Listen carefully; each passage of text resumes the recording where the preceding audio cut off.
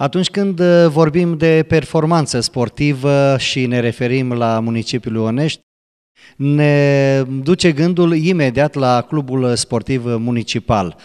Iată că de fiecare dată când venim aici uh, avem uh, vești bune pentru dumneavoastră, dragi telespectatori, și desigur încercăm să vă ținem la curent cu noutățile din acest domeniu, mai ales că lângă noi se află domnul antrenor Marin Zăldoi și o să vă spună chiar dânsul despre tânărul care este lângă noi, este un uh, sportiv uh, performant și chiar avem uh, noutăți și avem rezultate importante. Domnule antrenor, ne bucurăm că ne-ați invitat din nou aici la Clubul Sportiv Municipal. Iată, avem noutăți în ceea ce privește această secțiune, halterele. Da, într-adevăr, bună ziua! L-am lângă mine pe Dumitrașcu Paul, și profit de ocazie că în săptămâna trecută s-au desfășurat, de fapt săptămâna aceasta, s-au desfășurat campionatele naționale, etapa finală pe, pentru tineret under 23 de ani, competiție ca la care Dumitrașcu Paula a participat și a câștigat uh, cele trei titluri puse în joc la categoria 62 de kilograme. Dar cu ocazia asta profit și de faptul să vi-l prezint pe triplu campion uh, european, under 15 ani. În luna august s-au desfășurat aceste campionate europene în Suedia și data trecută v-am prezentat-o pe Moroșan uh, Marinela, cealaltă sportivă medaliată, și v-am prezentat trofeul pe care l-a obținut Dumitrașcu Paul. Acum am uh, marea plăcere să vi-l prezint în persoană, să-l cunoască toată lumea pe acest sportiv eu spun de mare perspectivă, un sportiv valoros, un sportiv care prin uh, rezultatele obținute a demonstrat că halterele din Onești au fost și vor fi în continuare uh, aducătoare de performanțe și uh, de sportivi valoroși. Și vreau să menționez și faptul că la această competiție Dumitrașcu Paul a făcut trei recorduri naționale, categoria lui de vârstă, adică under, cadeți under 15 ani, 109 la stilul smuls, vechiul record era 108, legalase la campionate europene, și la stilul aruncat cu 138 și a bătut propriul record, care este de, era de 135 de kilograme, și vreau să spun că 138 înseamnă și record european egalat. Cum e, Paul, să fii triplu campion european? Super bine. E bine, da? Dar asta probabil înseamnă foarte multă muncă, eforturi, sacrificii. Spune-ne câteva cuvinte despre tine, așa cum ar fi, cum te descrie? E un băiat destul de calculat, da, da, da. e destul de bine. Mă descurc, știu ce am de făcut pe viitor. Deci, uh, întotdeauna îți programezi foarte bine uh, performanțele și mai ales uh, asculți ceea ce antrenorul îți spune, pentru că e o anumită, sunt anumite etape în pregătirea ta. De antrenor cu experiență. De exemplu, domnul profesor. Zăldoi, desigur, da? Ești mândru, se vede de antrenorul tău. Nu, nu sunt mândru, sunt fericit. Mândrețea e un păcat. Așa, uite, niște lucruri interesante. Uh, dragul meu, uh, cum ai ajuns să faci acest sport, care e un sport extrem de dificil, necesită atât concentrare fizică cât și mentală? Uh, cum ți se pare acest moment în care ai ajuns în această etapă a performanței în care te afli? Destul foarte bine, adică greutăți, la început nu m-au lăsat ai mei să fac alterii. Dar... De ce? Spuneau că e un sport uh, mai greu, mai periculos sau cum? Nu mai crești, așa mi-au spus. Nu mai crești și tata are haltere acasă, că a făcut și el. Așa, și... deci din familie este. Da, din familie. Și am, fugeam, fugeam de la sală și până m-a luat moș, nu mai... Așa. Și Oneștiu cum uh, te-a primit? Chiar? Te-ai simțit bine aici când ai venit la Onești? Da, da, destul de bine. Chiar Cât... am să scap de acasă. Câți ani ai? Când, când e ziua ta de naștere? Poate fanele tale de, la, de pe internet vor să știe și acest lucru. 31 ianuarie 2000. A, deci în ianuarie acum ai 15 ani. Exact. Este o vârstă foarte frumoasă. Eu mă bucur foarte mult că ne-am întâlnit și mă bucur că suntem uh, la acest moment de bilanț. Desigur, probabil că nu te vei opri uh, doar triplu campion european. Vizezi, poate visezi la ceva mai mult? Ți-am spus, triplu campion. Campion mondial. Deci ținta este foarte, da. foarte clară, da? Anul viitor nu discutăm.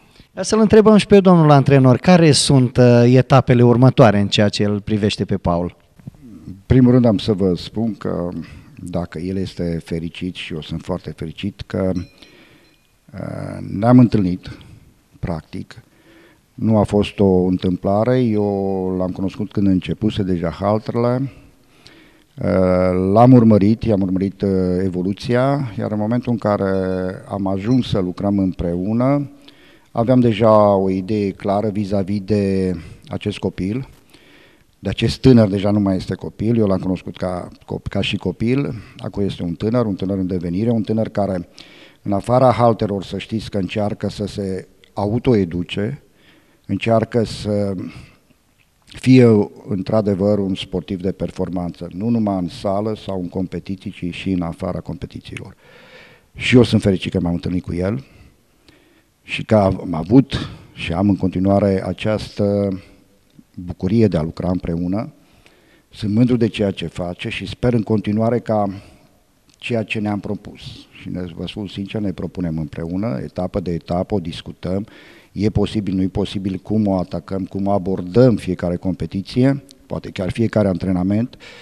Uh, mă sună și îmi spune, domn profesor, pentru că el este componenta lotului de juniori, nu tot timpul se pregătește în Onești și atunci ținem această legătură permanentă de a ne sfătui împreună uh, fiecare etapă de pregătire, chiar fiecare antrenament, următorul antrenament, următoarea săptămână, cam cum să abordăm uh, antrenamentele și cum să abordăm greutățile pentru ca performanțele lui să crească cât mai mult, cât mai sus. Eu chiar îmi îmi doresc mai mult de această medalie imediată sau medalie de la campionatul mondiale de anul viitor de, de junior 2, under 17 ani. Eu chiar îmi doresc și mai mult ca sigur se va împlini acest vis al meu de a lua o medalie la Jocurile Olimpice. Poate chiar în 2020, cea de la Tokyo din Japonia. Paul, care a fost cel mai eh, dificil moment în eh, cariera ta de halterofil, dacă vă spune așa? Uh, europenele.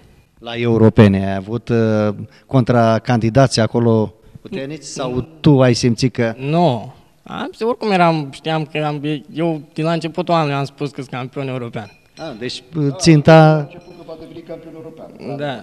Este foarte bine atunci când ai un obiectiv și atunci pas cu pas să reușești să, să dobori toate greutățile și să-ți îndeplinești scopul până la urmă, ceea ce ți-ai planificat. Spunem, te rog, văd că e sâmbătă astăzi, în momentul în care luăm noi interviu.